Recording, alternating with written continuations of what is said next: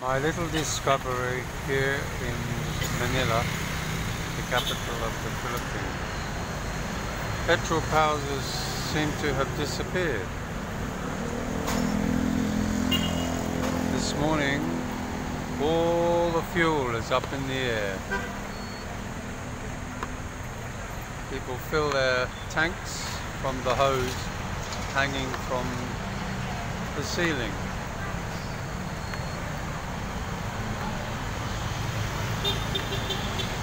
price of fuel is going up shortly, so there's a lot of people waiting to be served.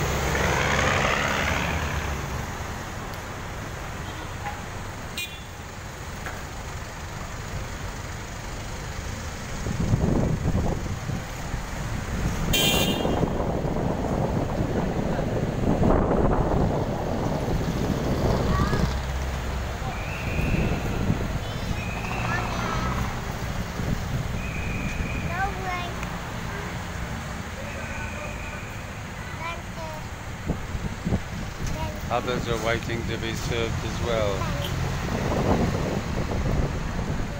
Two cute little boys doing what they know best at that age. Here in Manila, they always ask for money. You feed one, and uh, a thousand appear from nowhere.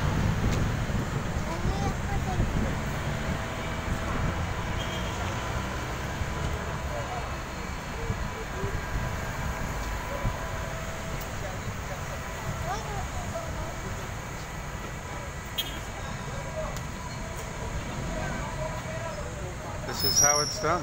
What a great idea.